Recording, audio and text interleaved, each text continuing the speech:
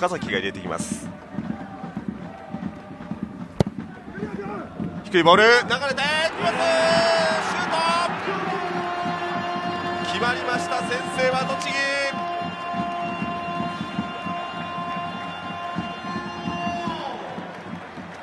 今日初先発の福岡が先制ゴール。やはり先ほどもね申し上げましたけどセットプレーがキーになるって申し上げましたけど、えー、まあそうなりましたね。最初のセットプレーで栃木が先制ゴール。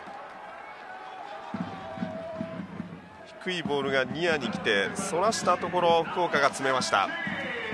やはり守備側からするとあそこニアでボール触られるっていうのは一番避けたいところでしたね。はい